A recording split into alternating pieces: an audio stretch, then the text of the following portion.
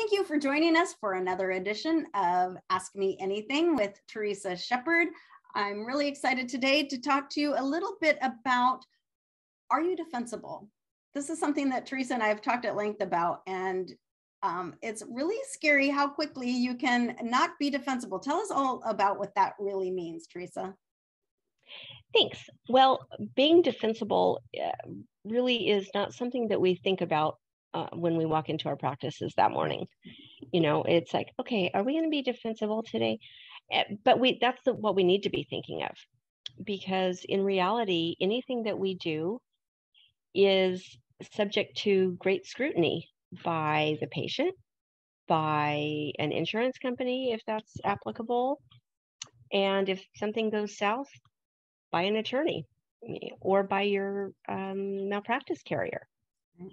So when I talk about risk management and I'm doing a snapshot um, for a client, the thing that I find most is there's several areas that are causing great risk for the practice, mm-hmm.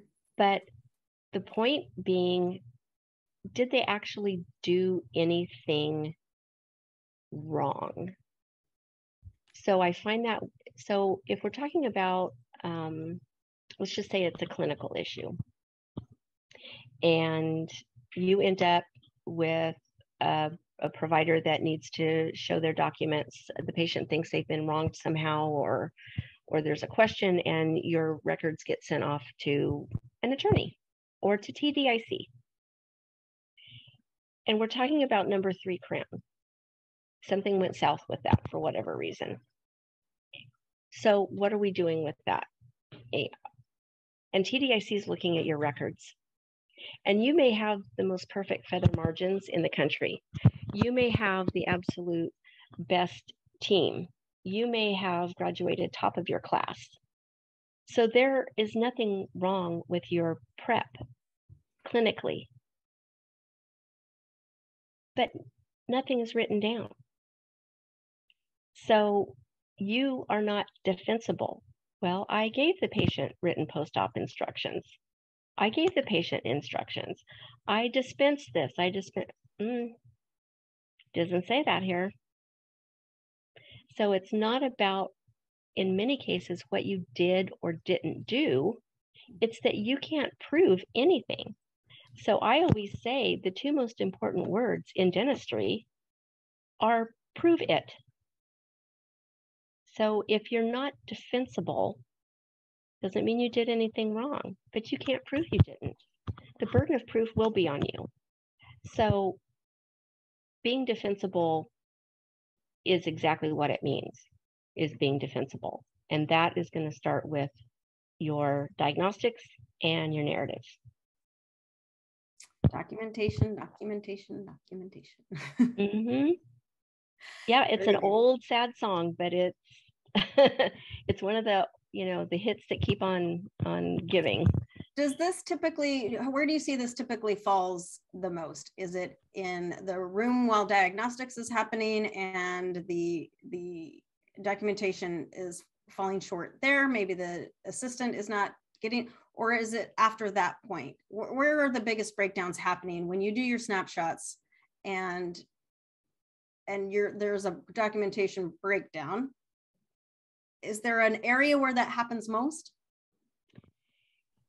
You know, not I, I wouldn't say specifically most.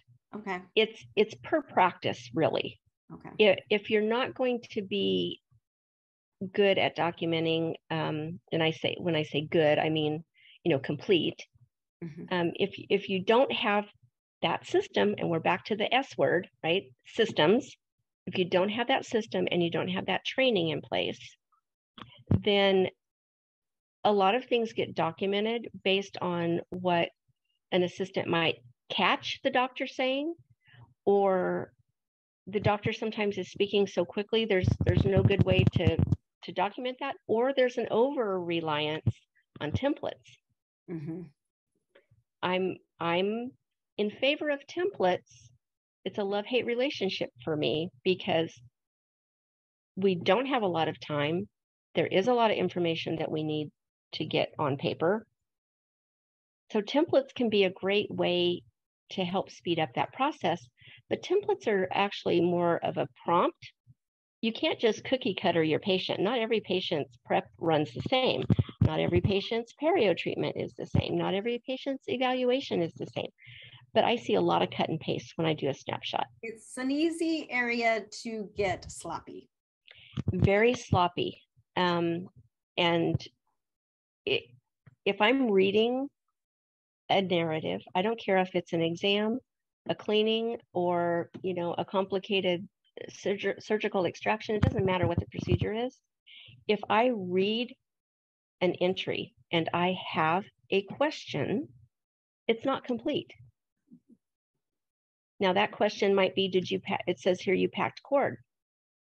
Did you remove the cord? Well, of course we did. Really? Didn't write it down. And sensible. And you know, I was an R, I still am an RDA, but I chair sighted for 10 years. And there have been times where, um, you know, early on, you've removed the cord after packing, after the impression.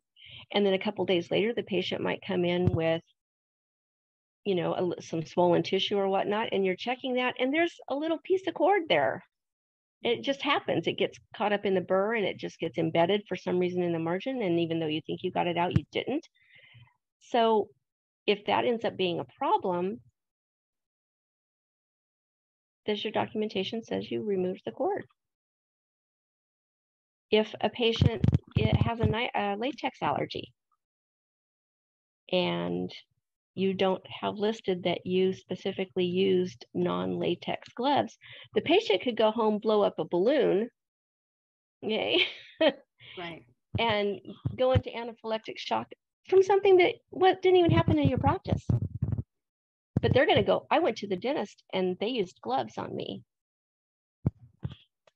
Again, maybe you did use nitrile gloves, but did you document it? That is so a great example.